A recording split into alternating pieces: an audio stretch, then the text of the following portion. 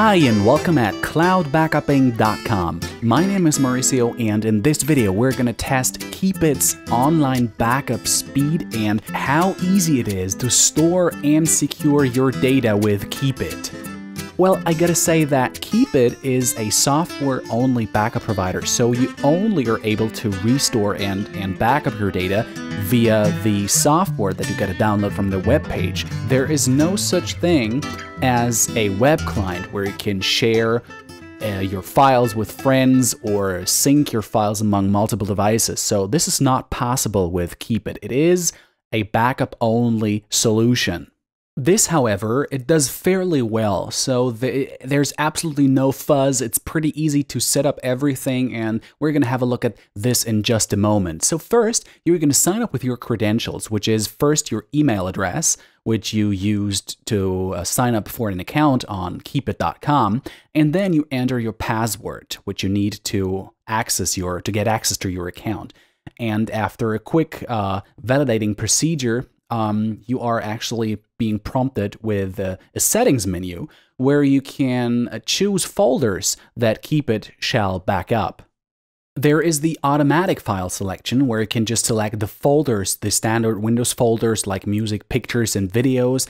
And there is the advanced selection, the advanced view, and we're going to use that because we want to back up the standardized folder we prepared of one gigabyte in files to be able to compare the backup speeds among the backup providers. So we're going to unselect every uh, check mark here with those folders and going to select our test folder right now.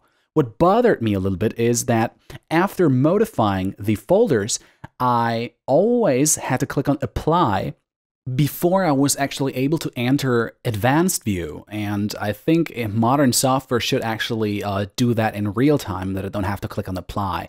However, let's go just quickly into advanced uh, view and see what we can do here. So we have as usual in the backup with backup providers, you have the file browser where you can select basically every file and every folder that you want to back up. And here we're just going to quickly enter our um, folder, which we have stored in cloud backupping and test files. And this is roughly one gigabytes in files, audio files, video files, pictures.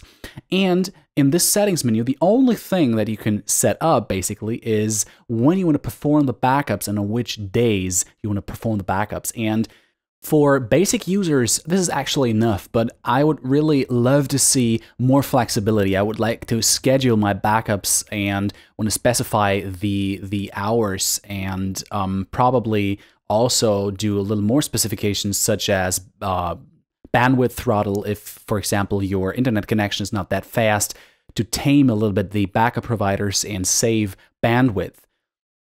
Okay, but just now let's have a look at the backup stat, the backup process itself. It allocates the server resources and then starts the backup accordingly. And we're just going to have a look at how fast this backup actually works. And I was gladly surprised that Keepit only took um, 2 hours and 12 minutes to uh, back up everything. The only problem I had was that the progress bar um, kept frozen at 1%, and this is actually what bothered me a little bit because I didn't know actually if it was working or not. However, um, you can see that at the bottom of the screen there is a detailed individual file status um, progress bar. So, and this was actually moving, so I was quite sure that everything was working well. However, um, I don't know if this is a bug or um, if it's just me. So probably you can leave a comment if you have uh, other experiences with that software and could leave it here in cloudbackuping.com or on YouTube. So when your backup is finished, you get a little pop-up message here that the backup is successfully done. And um, this is basically it for the backup process. I was quite happy with the speed, but the most important part is yet to come because we need to restore our data. And if you lose your data, if everything fails, you want to restore that data fast. And we're going to review that in the next video. So join me and we're going to have a look at whether the restore process works flawlessly or not.